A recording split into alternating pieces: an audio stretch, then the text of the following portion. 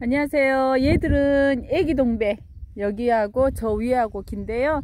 이쪽으로는 저희가 산 밑에 식재를 해서 따뜻합니다. 고웅입니다.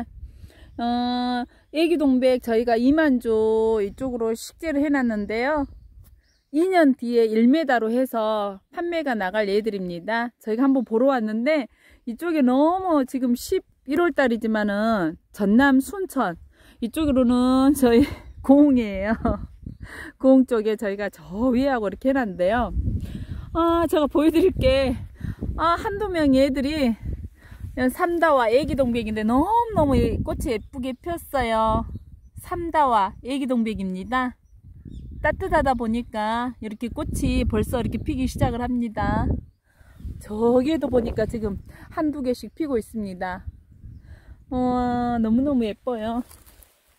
2년 뒤에 저희가 이제 올해도 지금 1m짜리가 한 300주는 있어요. 80에서 1m 정도요. 어, 너무 지금 예뻐서 한번 보여드리려고 나왔어요. 삼다와 애기 동백입니다. 어, 화려하고 너무너무 예쁩니다.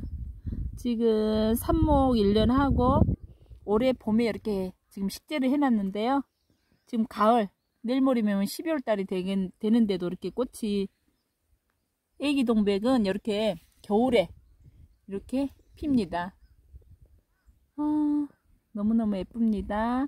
삼다와 애기 동백입니다.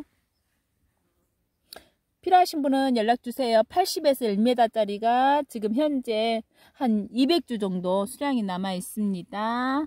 애기 동백 삼다와입니다.